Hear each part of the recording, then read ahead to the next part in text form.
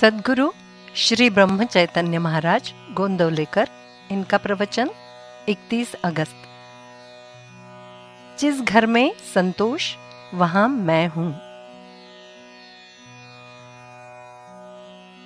जब किसी मनुष्य से मेरी भेंट होती है तो वो कितना सुखी है, ये मैं देखता हूँ।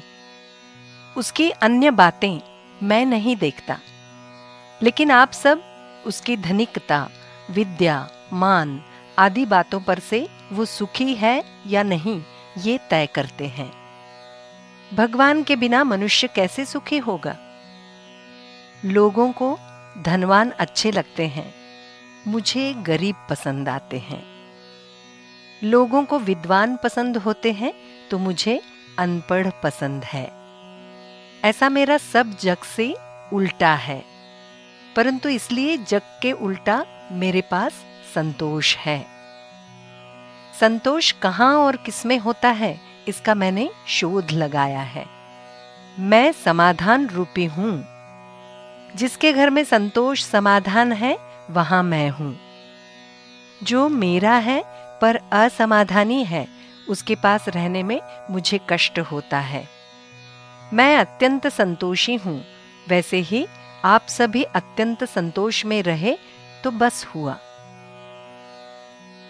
आज तक मैंने एक ही साधन किया, किसी का मन नहीं दुखाया, और एक नाम के सिवा दूसरा कुछ भी ध्यान नहीं रखा। मेरे पास क्या है, वो बताइए। विद्या नहीं, पैसा नहीं, या फिर कला भी नहीं। पर सभी पर मैं अत्यंत निष्कपट प्रेम करता हूँ, जिससे मैं लोगों को अपना सा लगता हूँ और सभी को मेरा आधार लगता है। दुनिया का स्वभाव मुझे पक्का पता है, इसलिए आज तक मैंने कौन क्या कहता है ये नहीं देखा। मुझे उसे क्या बताना है इतना ही देखा। मेरा कहना सुनने के बाद फिर तुम उसे सुनने आते हो। इसके तीन कारण हो सकते हैं। एक, मुझे अच्छा कहना नहीं आया होगा इसलिए। दूसरा, तुम्हें वो समझा नहीं होगा। या फिर तीसरा, बताया हुआ तुम भूल गए होंगे। तुम सब मुझसे स्वाभाविक रीति से बात करो। हम अपने घर के लोगों से जिस तरह से बात करते हैं, ठीक वैसे ही अपनेपन से मुझसे बात करो। मुझसे कोई भी कैसे भी और कुछ भी बोलेगा, फिर भी मैं उसे, मुझे जो कहना है, वही बतलाता रहता हूँ। मैं जब किसी को बतलाता हूँ, उस समय ये मेरी सुनेगा तो इसका कल्याण होगा, ऐसा अपने आप मेरे मन में आता है। मेरा जो सुनेगा, उसका सच्चा कल्याण होगा, इसका मुझे विश्वास होता है। परंतु कल्याण का अर्थ प्रपंच में सुधार न होकर प्राप्त परिस्थिति में संतोष से रहना ये है। मेरे मनुष्य के प्रपंच में मैं मदद नहीं करूँगा ऐसा नहीं, परंतु प्रपंच परमार्थ का प्राण ले ले, इतनी मदद मैं नहीं करूँगा।